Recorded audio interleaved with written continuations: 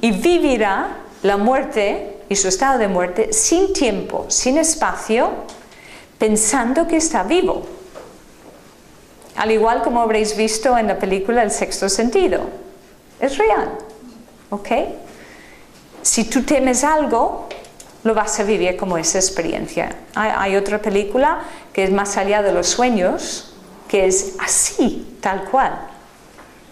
Ella se suicida, o no me acuerdo la historia, o se muere ella y vive el infierno, su versión del infierno. ¿Vale? Y su marido intenta rescatarla, ¿no? Pero es tal cual vives. Cuando se mueren los niños y luego vuelven, se explican las historias según como se les haya explicado. Si a un niño le explicas que hay ángeles, pues cuando se muere se le recibirá un ángel. Pues si a un niño le explicas que pues cuando te mueres vas a ver muchos ositos de peluche, pues se va a encontrar con ositos de peluche. ¿Entendéis? Si quieres morir en paz, ¿qué es lo que tienes que hacer? vivir en paz. Yo cuando me preguntaba, em, esos eh, terroristas suicidas, ¿vale? Piensan que cuando se mueren, por su labor, porque les prometen que cuando te mueres vas a tener 100 eh, vírgenes, eh, bueno, y lo hacen con ese propósito, porque es, es su regalo por servicio a su país. Cuando hacen ese trabajo, ese acto terrorista y se suicidan, luego se encuentran con el marrón, digamos, al otro lado y se dan cuenta de su error. Y ahí se quedan. No pueden irse. ¿Ok? Han despreciado eh, ese regalo, digamos, de Dios, de la vida, de la energía pura. ¿Ok? Entonces, la vida después de la vida, la vida después de la vida. ¿Cómo deberíamos morirnos y cómo deberíamos continuar después? Hemos, llegado a este mundo con un propósito, evolucionar, crecer, vivir, ser felices, multiplicarnos, estar vivos, pero este lugar es un paraíso. En nuestra evolución, el planeta Tierra es un lugar de vacaciones. O sea, que en tu evolución de 800 millones de vidas que llevas desde que todo esto se creó, decidimos tomar un descanso.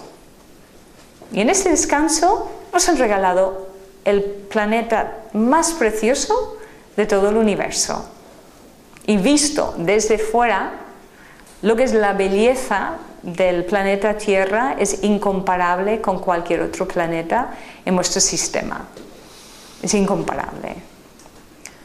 Lo que pasa es que nos hemos perdido en la ilusión. Estamos aquí viviendo una programación impuesta. Pero digo siempre, nadie te puede manipular si no se lo permites. Si tú dices, yo voy a vivir la vida que yo elijo vivir, dentro o fuera del sistema es igual, pues entonces voy a ser un ser libre, un ser divino, un ser soberano, con todo mi poder para co-crear el tipo de vida que yo quiera vivir. Y es fácil hacerlo pero hay que pasar por una desprogramación. ¿Cómo se muere la gente en este país? Sin ir más lejos, ¿cómo se muere? Si un médico te dice, te queda una semana, ¿cómo te quedas? Que me voy, qué guay que me voy, que voy a hacer una fiesta, ¿vale? ¿Cómo nos sentimos? Bueno, hacemos una fiesta, ¿no? Con la música y todo. ¿Cómo te quedas? ¿Qué es lo primero que te pasa por la cabeza? ¿La hipoteca? ¿Quién va a pagar la hipoteca? ¿Cómo te sientes? Venga, te dicen, te queda una semana, ¿qué haces? Quedas descolocado. Total. la, la primera impresión te Sí. quedas descolocado. Vale, Seguro. vamos. ok. ¿Y te lo crees o no te lo crees? No. No, ¿o sí? Medio medio. Medio, medio. Te lo crees pero no te lo quieres creer. ¿Sientes miedo? De repente empiezas a cuestionar, ¿hay algo más? ¿Sí o no? ¿Y cuando me muera? ¿Te preocupas más por cómo quedan los demás que no por cómo te quedarás tú? ¿No? ¿Y qué van a hacer sin mí? En ese momento te sientes tan increíblemente imprescindible, ¿sí o no? ¿Qué van a hacer sin mí? Pero cuando te mueres, todo va a seguir igual, o mejor, según qué tipo de petardo has sido en tu vida. Decir, "Jo, ya, se ha ido, alegría. ¿Sabéis lo que hacen en mi país cuando se muere alguien? Montan una fiesta, bueno, una borrachera. Se llama The Wake. Curiosamente, The Wake significa el despertar. Es la excusa para beber gratis, eh, nada más, ¿no? Entonces todos dicen, ay, que se ha muerto Pedro en el pueblo. Dice, sí, ¿y a qué hora, es la fiesta, no? y todos se ponen con el traje oscuro, van ahí, te acompañan el sentimiento, el sentimiento, sí, sí, sí, vaya, venga, muy bien. Sí, sí, muchas gracias, toma, un whisky, una cerveza, sí. La fiesta, el gran buff. Y cuanto más se vayan emborrachando, más van hablando del muerto. Mira que era majo. ¿Te acuerdas de aquella vez que hicieron? Y van saliendo todas anécdotas, las anécdotas y se lo pasan pipa. ¿No? ¿Aquí qué pasa? Al revés. Al revés. Tienes que poner cara de seriedad. Pobre, ¿y cómo estás? Bueno, mira, a ratos, a días, ¿no? Cuando están pensando, pues, pues, qué bien, me he quitado este encima, que era un no, ¿ok? Hay que hacer el papel. En otros países que hacen, o vas ahí a la India, hay toda una preparación. También en Vietnam hay toda una preparación. Durante eh, lo que es el proceso de funeral, incluso respetan ese tiempo, ese mes, porque en los países orientales son conscientes de una cosa de aquí no se sabe. Cuando una persona se muere, tiene hasta un máximo de 100 días en total para poderse marcharse solo. ¿Ok? 100 días para vivir un poquito la muerte de forma consciente, a ver qué hacen con la herencia, a ver cómo se pelean, a ver quién llora, quién no llora, lo que sea, a ver la fiesta que montan, a ver cómo viven sin mí. Tiene todavía una vibración de lo que era antes su campo magnético unido al cuerpo físico, ¿ok? Sigue ahí ese motor con suficiente chute para luego decir, pues se acaba. Eh, a los 100 días, hasta los 100 días puede decir, bueno, ya lo he visto suficiente, me voy a casa. O lo que llamo yo, vuelvo a mi programa, que de donde voy a reprogramar mi vida. O sea que, ¿cuál traje me voy a poner habiendo dejado este?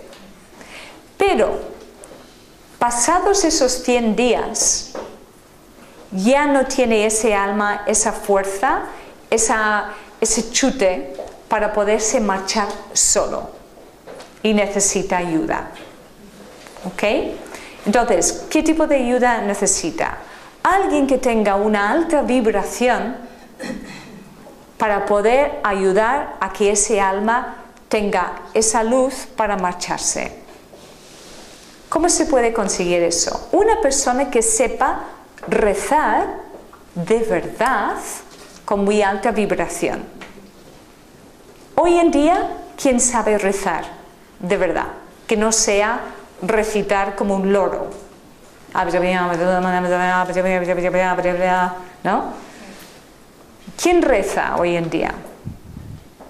La gente que está cerca de su muerte, la gente anciana que se está preparando ya para marcharse, a ver si después de toda una vida se van preparando o ¿no? van haciéndose la idea.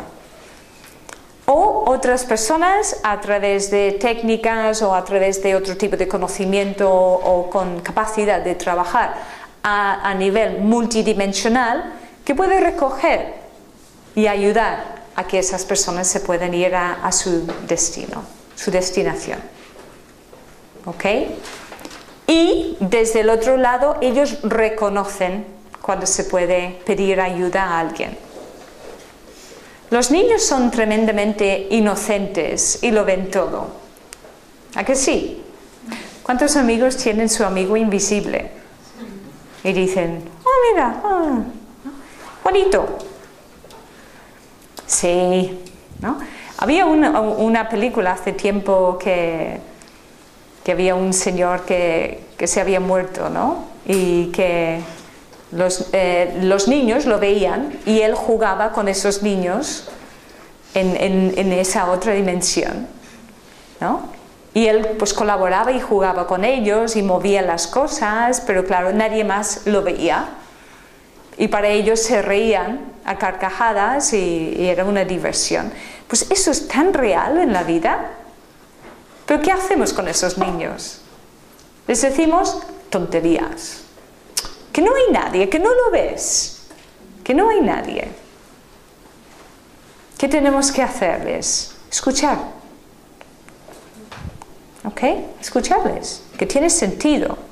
Porque no están contaminados en sus mentes saben ver más allá de lo que vean los ojos físicos.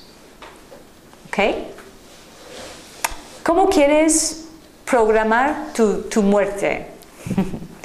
Sabes que tienes tu programa de vida. En ese programa de vida ya te has puesto tu fecha límite. Pero no significa que vayas a alcanzar esa fecha. Es tu fecha máximo. Pase lo que pase, tu vida no continuará a partir de esa fecha. Pero en tu programa, como es todo hipotético, pero si cojo la moto ese día de lluvia, pillaré una placa de hielo y si he bebido un vaso de whisky, pues entonces resbalaré y me, me moriré. Pero si la moto no arranca y no lo puedo coger y me obliga a coger un taxi, pues no moriré. ¿Me entendéis? Es todo hipotético. Siempre hay diferentes decisiones. Entonces, si quieres vivir un día más antes de dormir, programa despertarte por la mañana. Mañana me despertaré y a las 8 de la mañana. Así no te vas a morir durmiendo. Si quieres un día más, cada día de vida es un regalo. ¿Y quién lo sabe mejor? A el que le han dado una semana de vida. Porque en esa semana vive la semana más intensa de toda su vida. Porque sabe lo que vale cada día, cada hora, cada minuto o cada segundo. Porque mientras sigues respirando, puedes seguir evolucionando y puedes mejorar tu evolución.